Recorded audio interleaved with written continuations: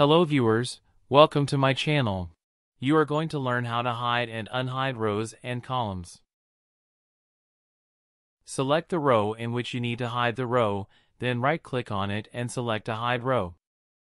To unhide the row click on the arrow key shown in the left corner, and you will unhide the row which was hidden. Another way to unhide the row is by selecting the above and below rows of the hidden row and right-clicking on them then selecting the unhide rows, you will unhide the row.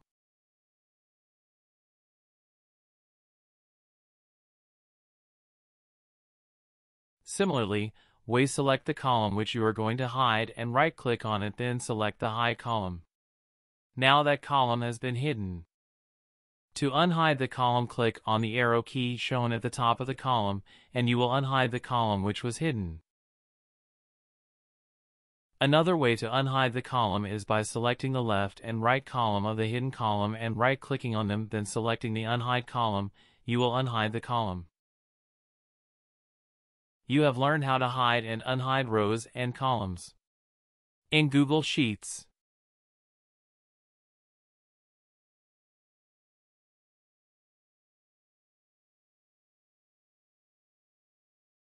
Thank you for watching this video. If this video is useful, consider to subscribe my channel and don't forget to like and share the video. Thank you.